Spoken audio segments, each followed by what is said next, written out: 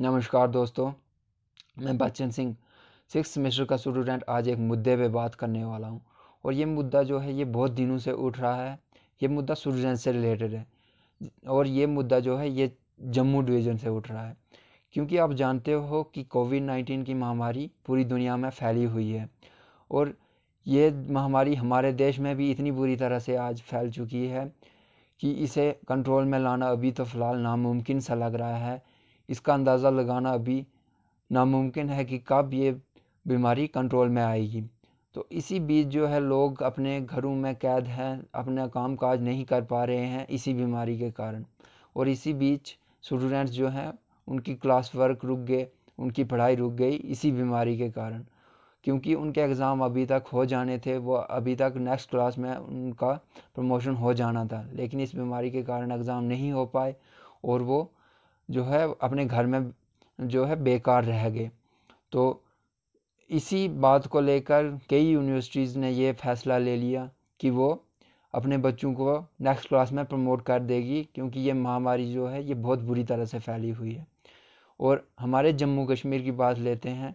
जम्मू कश्मीर में जम्मू डिवीज़न के लिए जो है, वो अभी तक ये फ़ैसला नहीं लिया गया, क्योंकि जम्मू यूनिवर्सिटी का कहना है कि वो M C Qs question paper set करेंगे और उसी के बेस पे जम्मू डिवीज़न वालों के जो हैं पेपर होंगे, जो स्टूडेंट जम्मू यूनिवर्सिटी में पढ़ते हैं, उनके पेपर होंगे।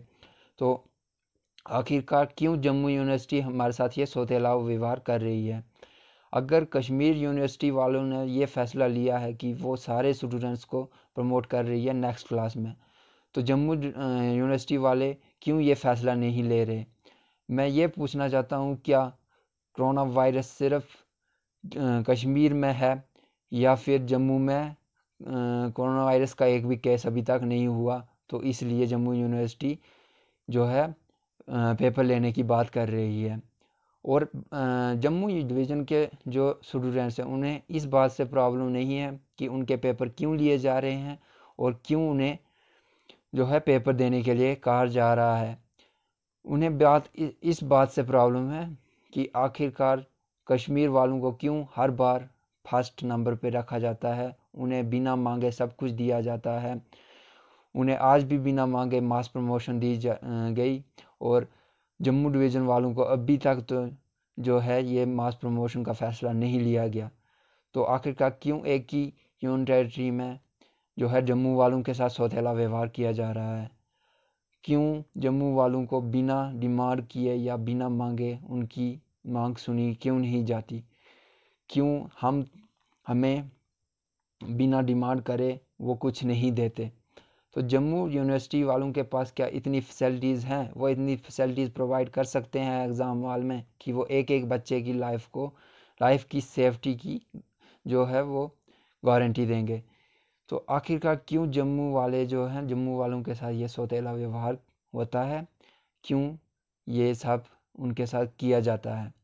क्योंकि कश्मीर डिवीज़न वालों के साथ पहले भी, बहुत पहले भी जो है, उन्हें बड़ी बार मास प्रमोशन मिली। 2016 में बुरहान वानी आतंकवादी मारा गया, तब भी उन्हें मास प्रमोशन मिली।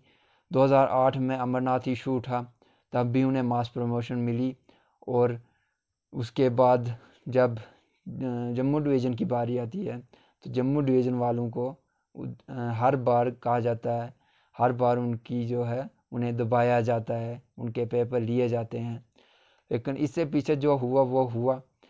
लेकिन इस बार जो है, इस बार ऐसा नहीं होगा कि जम्मू वालों की आवाज़ दबाई जाएगी। जम्मू वालों के आवाज़ जो है, इस बार नहीं दबेगी। क्योंकि जो कश्मीर यूनिवर्सिटीज़ हैं उन्होंने अपने बच्चों को प्रमोट कर दिया। तो जम्मू यूनिवर्सिटी क्यों ये फ़ैसला नहीं ले रही? आखिरकार क्यों जम्मू के साथ इतना सौतेला व्यवहार, सौतेले से भी सौतेला व्यवहार किया जाता है? अगर हम पोस्ट जो पोस्ट निकलती हैं, उनकी बात करें तो उनमें से भी अगर रेशो की बात करें तो सेवेंटी परसेंट कश्मीर को जाएगा और थर्टी परसेंट जम्मू को आएगा।